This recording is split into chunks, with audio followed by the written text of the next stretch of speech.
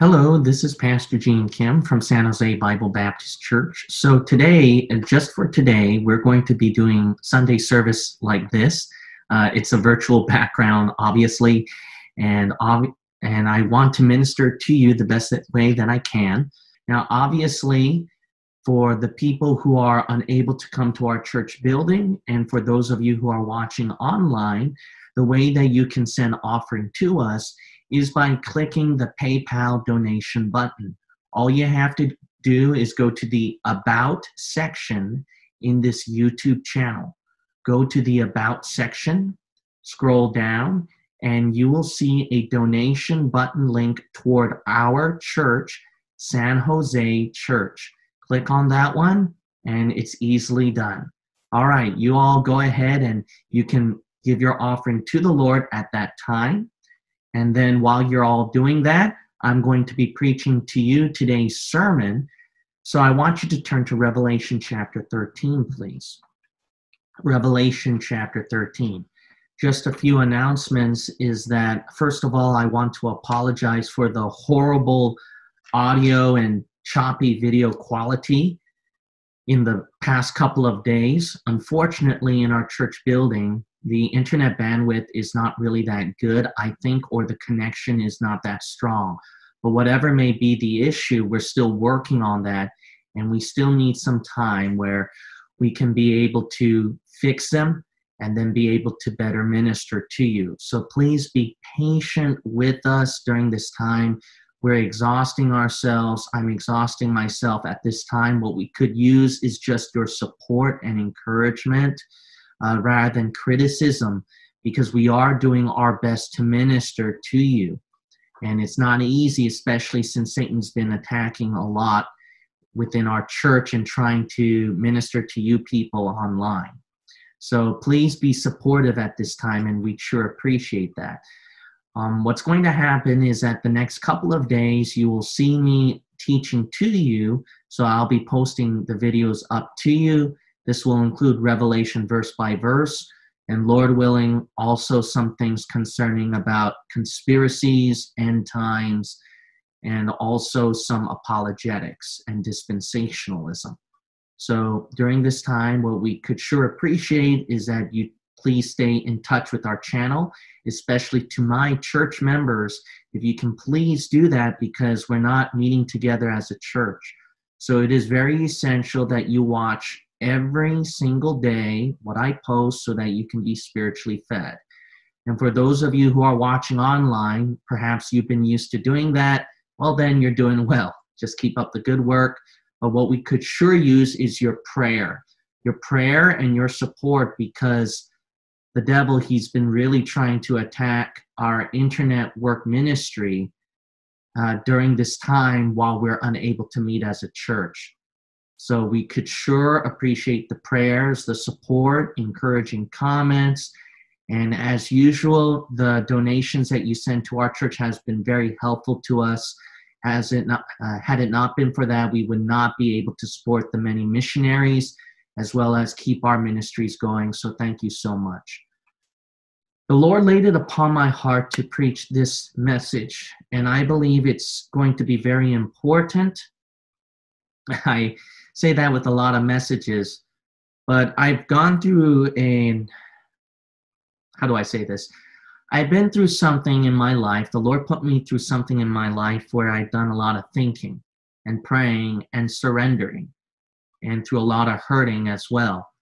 But through this, I became much stronger and much more determined. And I hope that it will reach to you. Revelation chapter 13, please. Oh, before I read the text, I just want to mention so what you're going to notice is that for Sunday services, we're going to be starting at 11 in the morning, 11 in the morning for our Sunday main service. And then Sunday Bible study will be starting at 12:30 p.m. 12:30 p.m. And then for Wednesday discipleship, we'll be starting at 7 p.m. And then for Wednesday Bible study will be 8:15 p.m.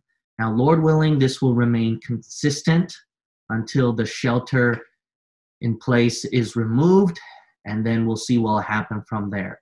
But please keep tabs on our YouTube channel, and then that way you can see when we'll be up. Okay, anyways, back to our main text, Revelation chapter 13. We'll read verse 4. And they worshiped the dragon, which gave power unto the beast.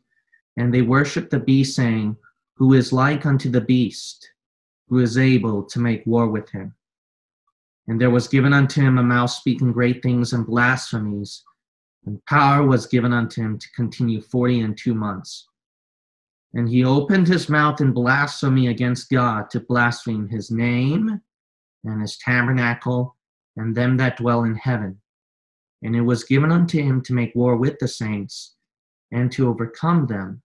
And power was given him over all kindreds and tongues and nations and all that dwell upon the earth shall worship him, whose names are not written in the book of life of the Lamb slain from the foundation of the world. If any man have an ear, let him hear. Now, the author of the book of Revelation told you if you have an ear, then hear. Hear what? This is how important it is, is that when the New World Order, one world government, one world religion sets up, the Antichrist, he will have a reign and a power that will overrun the whole world. And no matter what people can do, they cannot stop it. As a matter of fact, he's given power to overcome the saints. So the thing is today is that we can see, especially with this frustration where the government is taking mandatory measures, and we can see we're not too far away from the rapture and from the Antichrist setting up his one world government. And I believe that there's a lot of Bible believing Christians and saved believers who are frustrated with the government taking uh, more measures where they're able now to take away the liberty and individual rights of people. We're not that point yet, obviously, but we're getting there and we can see that. And everyone is looking for a savior during this COVID 19. And then we can see the elites already at work. We can already see the apostate churches compromising even further. We can already see where the vaccines, the scientists, the politicians, the tech mongols, etc., are setting up solutions. And the world is all looking up to something. So we're not too far away. And the frustration is building up, and Christians are becoming more weak. But I just want to say this is that despite of how the new world order will overrun the whole world that the church the bible gave a promise to the church in matthew 16 the gates of hell shall not the gates of hell shall not prevail against it that's why we believe we're dispensationalists because at revelation 13 the tribulation saints they're unable to overcome the antichrist however the church is raptured before the tribulation, before the Antichrist sets up something. So the church, you got to understand, will prevail. They will prevail before the tribulation takes place. This does not mean that there will be a worldwide revival. The Bible says that there will be worldwide apostasy at the end of the church age. This does not mean that the church they will overcome the new world order system.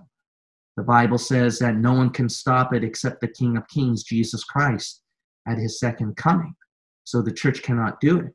But how the church will prevail is what it's always done going about its Father's business, spiritually growing, winning souls, planning churches, helping missions, growing believers, spreading the kingdom of God.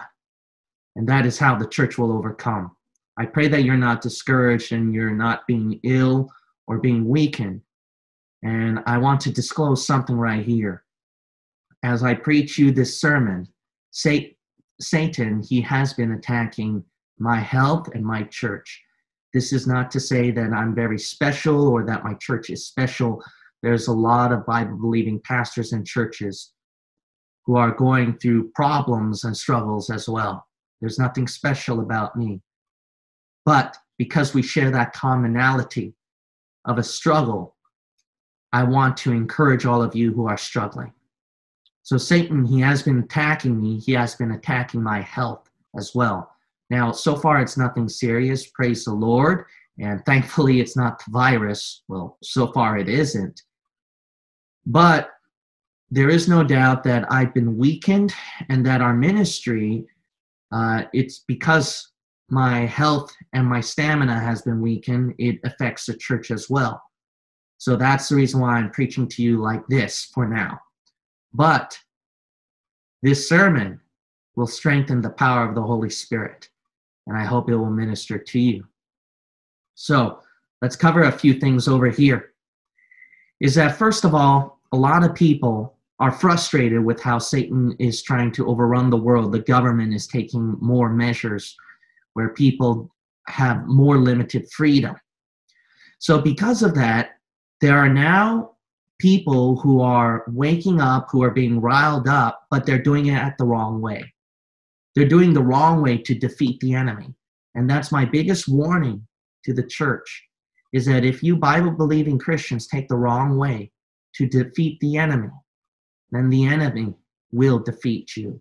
There's nothing that Satan likes more than your impulsivity, than your pride, where you think that you're right and that you know what to do, where you lack patience and you go ahead of the will of God, where you endanger your church, where you endanger yourself, where your ministry, where you feel like it's being limited and restricted in freedom, it's going to be restricted even further and pointed out by the liberal news media and the wicked government shaming the Christian church.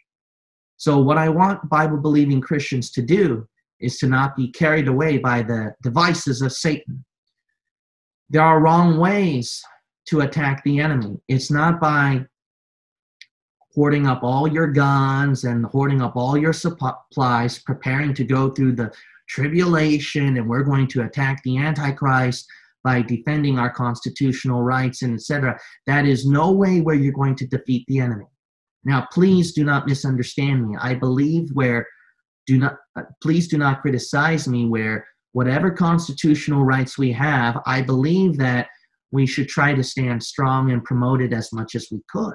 There are some Bible believing pastors and churches who do it more so than me, and other Bible believing pastors and churches who do it less so than me. But whatever it may be, it doesn't matter. The point is over here, though, is that Bible believing Christians, I believe that we're being very impatient, and due to anger, we're doing things that can endanger our ministry and our health, and not only that, cause more division among Bible believing brethren. I keep stressing this over and over again, and you know what? It's like a doomsday prediction, and I'm already seeing it.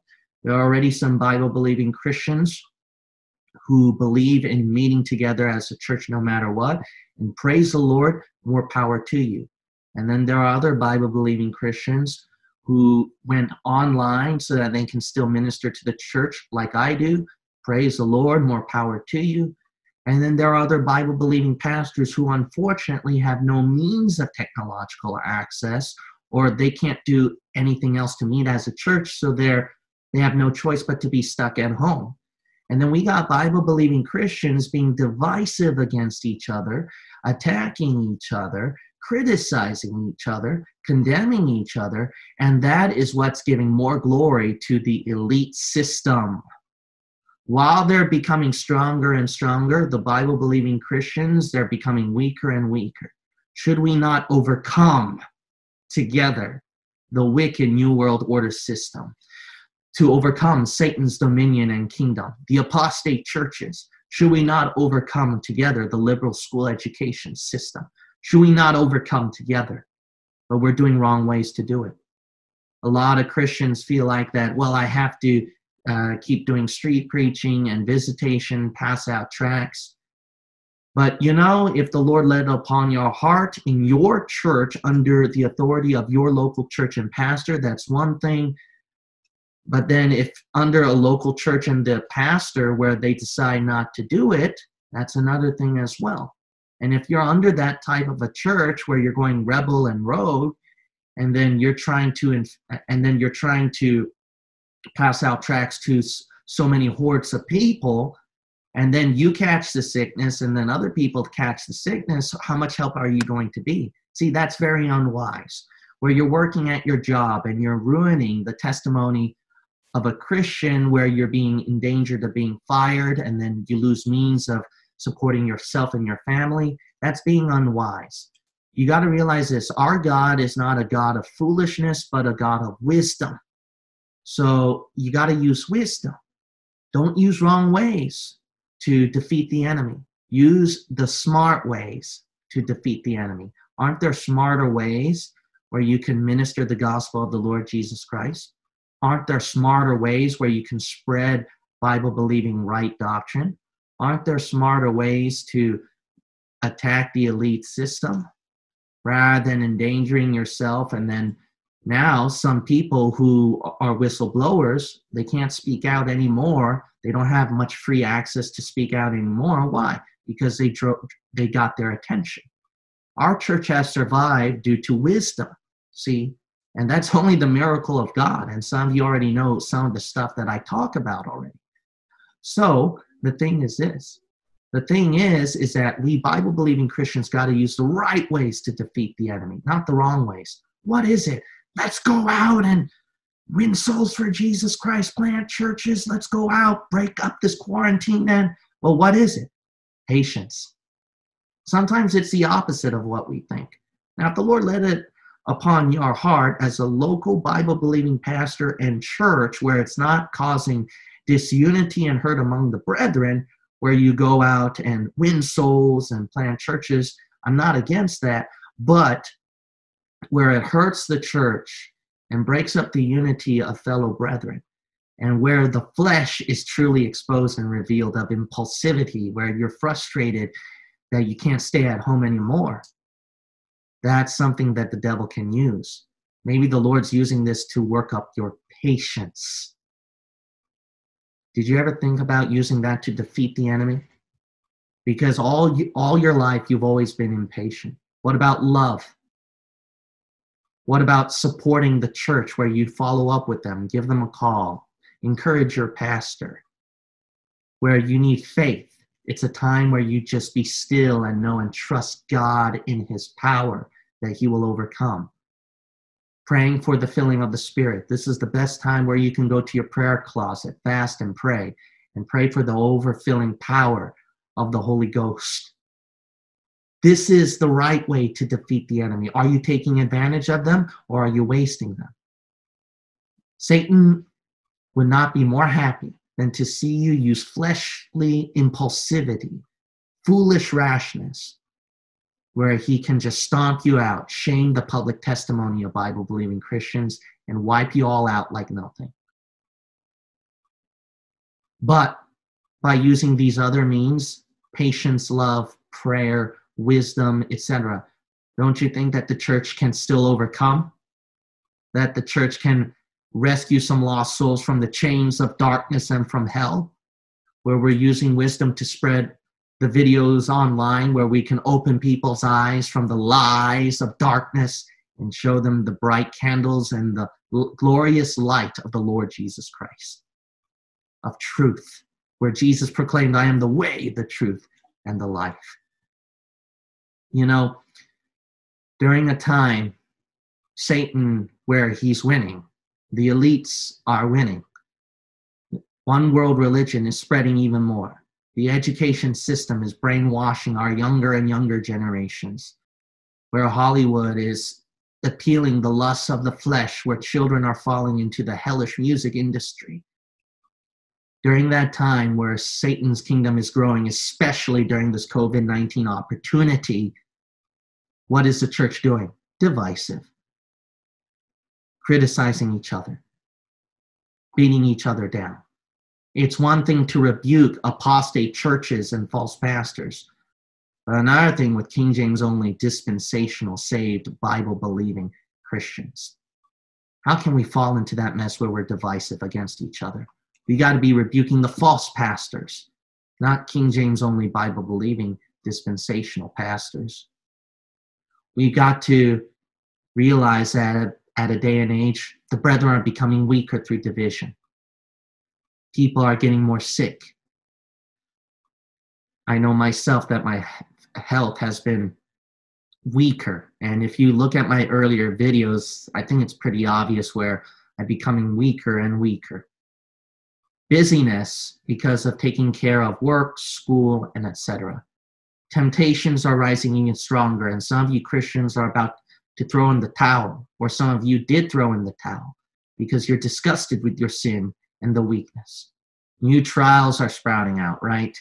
And some of you are just getting bogged down in the dumps and you're like, I can't take it anymore. Where busyness is kicking in, health ailments kicking in, financial struggles are kicking in, and not only that, brethren forsaking you. And sometimes, me as a Bible believing pastor, if I've experienced it.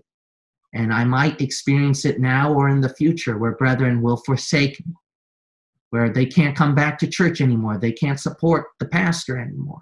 And you've seen brethren who you thought were close to you now turn against you. And they leave you all alone. And you know what? Despite of whatever trial, temptation, hurt, busyness, or ailment in my health, or struggle in my finances, or problems in my family, or the brethren turning against me, leaving me all alone, criticizing me, and being divisive against each other. You know where you're going to see me? Even if I'm all by myself, you're going to still see me preaching the gospel of the Lord Jesus Christ. If it takes me by myself out in the streets, preaching when this COVID 19 is finally uplifted, and you see me preaching out on the streets again, you're still going to still see me out there even if none of my members join me. If God takes away everybody out of my life and my family and my church, I'm determined by the grace of God to still pastor the church and still minister here at the San Francisco Bay Area. You're not going to see me go down. Now, to be honest, I am afraid because I know that I am all I am is weakness. And that it only takes a little finger of the devil to crush me. I'm not I'm not powerful than all the big shot elite system, all the politicians, all the rulers of the darkness of this world, the technogols, and then the religious leaders, Babylon the Great. I cannot overcome them. They can overcome me easily. I am very scared. But see, I know my place, that I am weak, frail, and dust. And it's because of that humility and that fear that the Lord can see that and realize. So Gene realizes that he is truly nothing. And that Gene realizes that he truly needs an act of God, the miracle and the finger of God to overcome all of them. So you know what? Because only, only by the grace of God and by the power of his protection, you know what I can do? I can overcome everything and anything in this world. And I will continue to fight. If you see me, if I become weaker in health, if I die out even further, and if busyness rises up even higher, and financial struggles rises even higher, family problems rises even higher, church problems rises even higher, and then Bible believing brethren fighting amongst each other about the stupidest, silliest things. And even if that happens in my church, you're going to still see me preach the gospel and overcome. How about you? How about you? Will you join me? Will you fight along with me? Or are you already carried away by the world, the flesh, and the devil, fighting against, fighting about stupid, silly things, making foolish decisions? being discouraged about temptations and trials again, being complacent now due to this quarantine where now your spiritual life has gotten cold. How about you? Are you going to fight alongside with me? You're going to still see me out there. You might say, but man, aren't you aren't you already getting sicker don't you think you have to take better care of your health? Don't you think you have to be careful? Of course. See, that's the wrong way to fight the devil. See, the wrong way to fight the devil is that I'm foolish in expending my energy and my health. That's why I'm preaching the Sunday service like this so that I can take better care of my health. But see, that's how I overcome the devil is that, see, not the wrong way of wasting my energy and using rash zeal, but using patience and using consistency and faithfulness and wisdom while taking care of my health.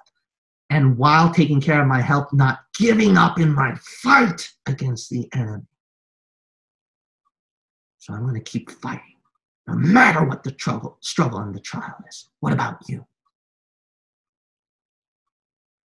You know, some of you may be scared, and I'm scared too. Like I told you, I am definitely scared. I can be wiped out just like that in, in a click. I realize my position. But you know what? Guess what? No matter how much, even if I have all the heads of the generals of hell attacking me and Satan's wrath, where he dashes me to pieces, and then I get whatever conspiracy is out there, whether there be the 13 heads of the Illuminati or whether it be the 13 bloodlines of the Illuminati, whether Bill Gates is a part of it or not, and I get him onto my tail wherever I have the Obama administration or the liberal administration, all the Democrats, the Clinton powers, the Bush powers. I get Vatican the Great, the Roman powers, the Masonic elites, and then whether I get all of Hollywood onto my tail, or whether I get all the Jewish bankers, or whether I get all the Jewish elites, or whether I get all the religious apostates and all the internet trolls who are already trolling me online, the liberal education system, and the atheist trolls, the post trib trolls, the Calvinist trolls, and all the world heading toward against me, guess what? I'm too angry I'm too motivated. I'm too burdened about the cost of lost souls going to hell and souls being deceived by the wicked system that I throw in the towel and become weak and cry and whine and say, I give up. I'm too angry and too motivated to do that. Sorry, I can't do that. Never. I can't. I can't. So, you know what? Because of this virus, I just want to say one thing. Thank you to whoever did that. Thank you, whoever tried to put me in quarantine. Thank you for trying to restrict my freedom. Thank you for trying to attack my health. Because you know what? Second Corinthians chapter 12, where Satan sent his messenger to buffet Paul, Paul said, through that weakness he became strong. And I know this through my trial, through the past three couple of days, the Lord taught me where I surrendered myself and I became even stronger and more determined to never quit and to become and to fight back even more. You know, did you read Second Corinthians chapter 7 where the Corinthians, they fell into temptation and sin. But you know what they did? They did vengeance to pay back against the sins that they committed in the flesh, where they let God down. You know what this coronavirus situation taught me? To have vengeance against the flesh, to have vengeance against the sin. I'm going to pay back where they try to restrict me from witnessing, guess what? I'm going to pay back tenfold through prayer, through patience, through faith in God, and through trying to reach more souls out there and to preach this message. You know how this message, this sermon was birthed? Because you put me in quarantine, because you put me through suffering, because you tried to shut me up. That's why this sermon was born. Thank you. How about you? Can you say that? Why don't you take advantage of the attacks of the enemy and do the same thing? I don't know about some of you. Like you, I'm scared. Like you, I feel too weak, too pathetic. But guess what? Praise the Lord for this COVID 19 situation because it put me through a thinking situation where I got out of that state where I said, Yes, I'm weak and I'm scared, and man, the devil can wipe me out just like that. But that's a time where that I have to lean closer to Jesus Christ. And if I have the power of the Lord Jesus Christ, nothing can overcome me. Did not Romans chapter 8 says tribulation, peril, the sword? Nay, we are more than conquerors through him that loved us. Did not First John chapter 5 says this is the victory that overcometh the world, even our faith? Did not the book of John say, Greater is he that is in you than he that is in the world? Yes. Yes. So guess what? Oh man, it's too hard the trial. Oh, the temptation's too strong. Oh man, the the government system is just running too deep and I can't overcome the online. It's just too much. Google, YouTube has full control now where the religious apostate pastors, they're going to get more of the views and the subscribers and etc. Hey, guess what? I don't have time to think like that and become weak. You know why? Because I'm too angry to think like that. I'm too burdened to think like that. For souls dying and burning in hell, can't you not picture our next generation? Little children, as soon as they are born, guess what? As soon as you see that baby born in your arms, you know what you're seeing?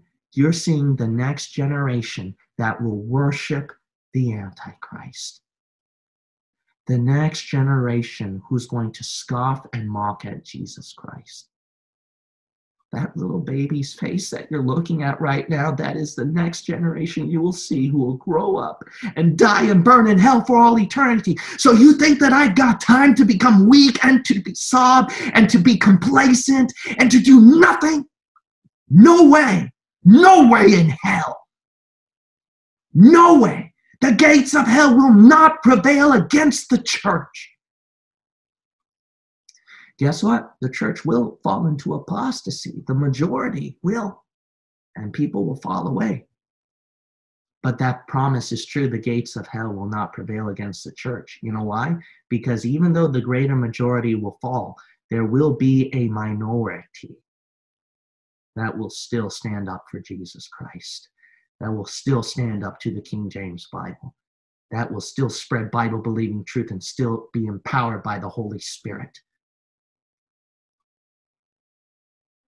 I want to be one of them. What about you? Will you be one of them with me?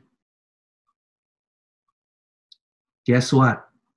No matter if any of the conspiracies is true, okay?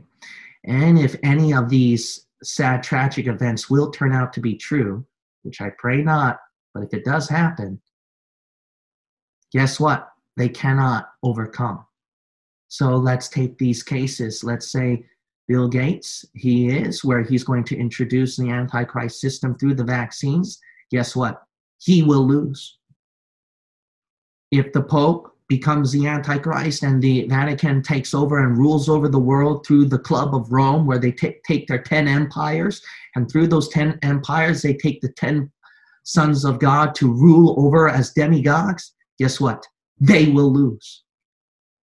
Guess what? If YouTube and Google take over the whole platform and Facebook, where they dub it as fake news, and then they throw away our channel and they throw away our church and they deny the truth that is being spread out, guess what? They will lose. Guess what? If Joel Osteen and Joseph Prince and Rick Warren and the, and John MacArthur and the Calvinists and the post-tribbers and then the anti-Semites and heresy spread around the internet and their churches grow even more and Bible believers become even smaller, guess what? They will lose. Guess what? when the false prophet sets up and makes way for the Antichrist system and burns the tribulation saints and then sets them up as sacrifices, guess what? They will lose. If Catholicism grows as the largest religion in the world, it will lose. Islam is the world's fastest growing religion. Guess what? It will lose. Guess what? Whoever is in part of the deep state or the elites, whether it be the Clintons, the Bushes, etc., etc., guess what? They will lose. You know why they will lose? Because Jesus Christ is the final victory at the end. He's the one that will overcome all the wickedness that is in this world. And the church is still here. We're not raptured yet. You know what that means? God still has a purpose for us to fight. God still has some battles for us to win. God is not a loser. God is never a loser. Every battle he gives to you and I, he has to win. So just because there's going to be worldwide apostasy, just because that the Antichrist has to set up his kingdom, and just because that we will never crush that deep state because the New World Order system has to be in place, guess what? That doesn't mean the church will be defeated. God has some battle for us to win. I know my battle right now, and that's this sermon that I'm preaching to you. No matter what the temptation, the trial is, guess what? They will fall, and the church will win. If the majority of the church falls due to apostasy, that minority of Bible believers, the ones that are true, close to God, real, real Bible believers, we shall overcome. Guess what? I know the filth is growing throughout the online and through cable and through our schools, but guess what? Righteousness will prevail. I know lies are spreading throughout all the world and especially online, and that heresy is rising. And I can definitely see that in the internet where the heresy is rising now. The truth is now diminishing because they changed the analytics and platform now in the internet. But guess what? Truth will prevail. I know that false love is growing, where there's a perversion growing and hatred growing against Bible believing Christians, homosexuality, a tolerance where they dub it as love for false religions and for lifestyles, and wickedness and sin is growing. But guess what? Love will prevail. Love in the Holy Ghost, love in the Lord Jesus Christ, a love for lost souls, a love for God's Word, for the King James Bible, for dispensational truth. It will prevail guess what? No matter how many uh, people in the church that's fallen into apostasy and the majority has fallen, guess what? The church will nevertheless will prevail. And that church is not the majority, it's that minority, the real Bible believers. Guess what? I know that the Antichrist will come. The elites will take over. The orders are rising even more. I mean, you see all the stuff the CFR, the Bilderbergers Trilateral Commission, the Club of Rome, and the bankers, the Hollywoods, the lodges, etc., etc. But guess what? Jesus will prevail. He will prevail. He will overcome. You know, while the devil is using his finger to push me down, and I can, can you picture him and the wicked world cackling at you? Cackling and laughing, pushing you down while you're becoming weaker and weaker. And here you are whining and crying and saying, Oh, I can't do it. And they're laughing at you and they're pushing you down more and more and more. And they're saying, That's right, fall, fall, fall. At that time, that is a time when they're pushing me down that I gotta one up them. I'm to one up the devil. So where they attack my health, you know I'm to do? I'm to one up the devil. And where they're going to try to attack our church and close us down, I'm to one up where they close up our church. Where the wicked government and secular system is trying to prevent us and restrict us from witnessing and soul winning, I'm going to one up them. That is a time, look, when you're being attacked, that is not a time where you're just consider where you're still and you're doing nothing. That's a time where you got to one up them. Hey, let me ask you this question. Throughout this past week, was there a time, was there a time at least once or twice a week, especially when they're quarantining us and trying to restrict us, prevent us from spreading the gospel? During this time, have you once or twice done a one up against the devil have you ever done a one up moment where you're like, okay, this is going to be a one up moment where, hey, if you're going to shut me down, then I'm going to mail out like 50 to 100 tracks this week. Did you ever do a one up against the devil where, hey, where this is where you're quarantining me and trying to restrict me? That's where I'm going to read through my entire Bible by the end of this week where Satan and the flesh is wearing you down through temptation and sin, that's where you got to one up them and say, I'm going to fast and pray all day today. Have you ever done a one up moment? That is a time where you got to one up them. And that's my challenge to you, church. My challenge to you is to one up them, one up the world, one up the sin, one up the devil. you guys been tired out, worn out. I don't know what kind of trial or temptation or sin you're struggling with or what the devil is attacking you with, but this is a time where you got to take vengeance according to Second Corinthians chapter 7 verse 10 and 11 where you're taking vengeance. One up them. One up them. The time for one up is where you obviously don't do it unwisely. That's where Satan's going to get you. Don't do something rash and fleshly impulsivity. One up them by doing something even more smart, more wise, where you can keep pressing on for the Lord Jesus Christ. One up the devil. Today, after this preaching is over, I challenge you, I challenge you that you one up the devil after this sermon is over. Will you do that right now? As soon as this preaching is over, one up the devil today. Fast and pray all day today, or get in the closet and beg for the filling power of the Spirit, or splurge tracts everywhere that you walk around in your neighborhood or your apartment complex, or you mail it out, or post our salvation video links where it says how to be saved and be a real Bible believer. Take that video title our, in our channel and just spread it through every Facebook account, Twitter account. One up the devil today, or you got the devil onto your tail again, pushing you down again. I challenge every one of you today who hear this message one up the devil. I'm going to tell you what, through the power of the Lord Jesus Christ and by his grace upon my weak, broken, sinful self, to the world, the flesh, and the devil, I say this I'm gonna one up you.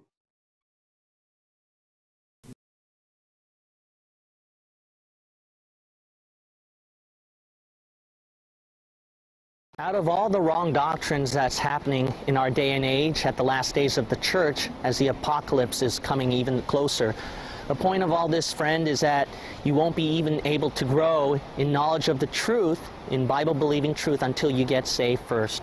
The most important question you have to ask yourself after watching all this is if you were to die today, are you 100% sure that you're going to go to heaven? Perhaps one of these wrong doctrines have affected you and you had the improper way of salvation. As you have seen before, the way to get saved is very simple. It's only simply salvation by grace alone, without works, through the Lord Jesus Christ in this Christian day and age. If you're not sure that you can go to heaven after you die, it's very simple to get saved. First of all, you have to understand that because of sin, God is a holy God, and He cannot even allow 1% of sin into heaven. So He has to judge sin with a burning hell. So it is very important that you got to realize how serious sin is, and you must repent. You might say, well then, I guess I have to clean up all my sins. I guess I have to go to church. I guess I have to get baptized. I have to, I have to be a good person. No, my friend, good works can never save you. Jesus is God who died, buried, and resurrected so that he can pay all the sins for you. You don't have to pay a single sin for yourself.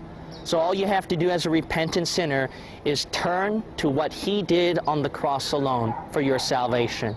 You might say, well, Pastor, I do believe only on what Jesus did on the cross to save me. That's great. Then all you have to do is just say that to the Lord. You might say, well, preacher, I haven't prayed much before in my life. I don't know really how to say it to God. Can you help me out?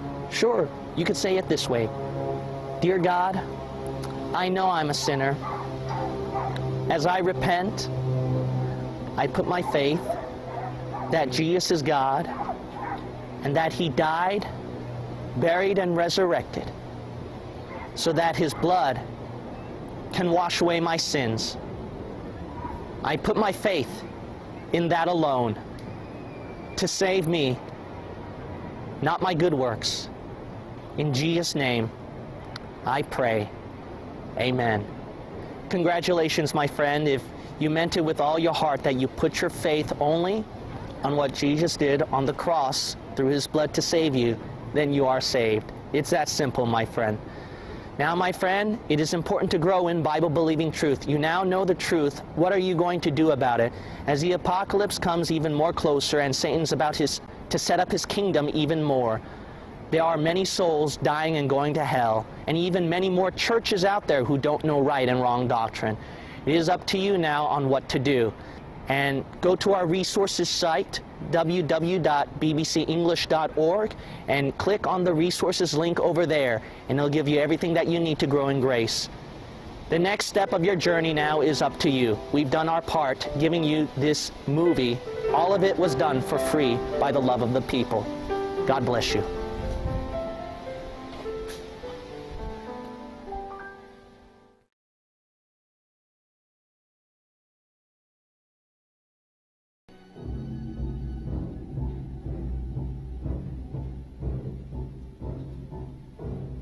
Or should we just stick to the Sermon on the Mount? A passage that is so radical that it's doubtful that our own Defense Department would survive its application.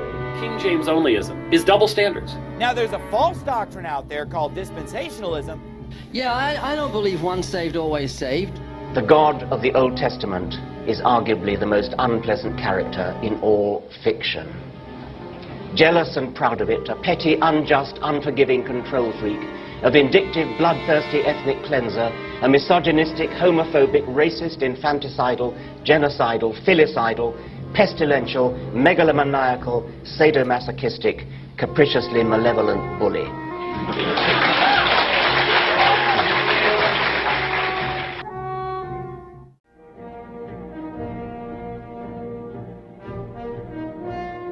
But you don't want to get identified with the reproach of what really believing this Bible is all about. You know what these wicked left wing liberal perverts want you to do? Legalizing the marijuana or homosexuality or if the whole entire world turns against the Lord. Is that person saved? Is that person on their way to heaven or hell? The carnal person has no thought of God in their mind. That people will leave the church over the color of the carpet. What's wrong with our churches? Why don't we have a closer walk with Jesus? Why isn't everybody running around like little Jesuses, shouting, screaming, and hollering? That thing you look in the mirror, it don't want to go street preaching.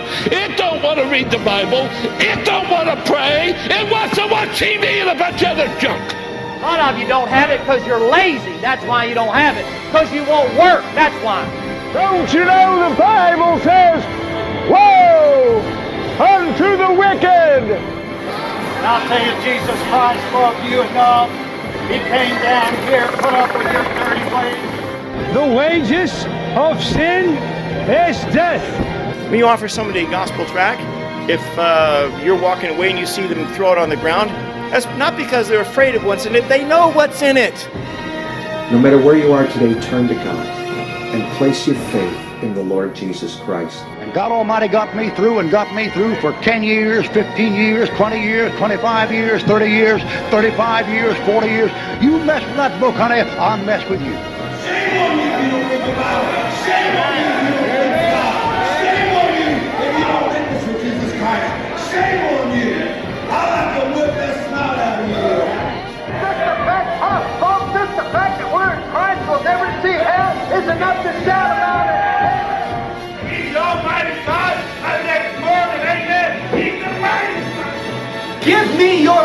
Lord. You know what we need? We need people to fall on their knees. We need people to pray to the Lord, raise the King James Bible high, believe in dispensational truth.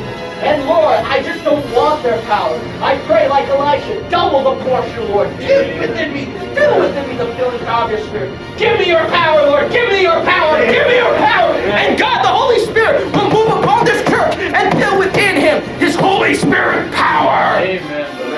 Then we'll see soul saved. Then we'll see God do something with this church. Then we'll see the liberals and the homosexuals getting up there. Then we'll see those apostate Christians getting mad. Then we'll see all the world opening their eyes to the truth and they say, "Uh, we have not seen such a thing. Brothers and sisters, there's only one hope. Looking for that blessed hope and the glorious appearing of the man God, our Savior, Jesus Christ.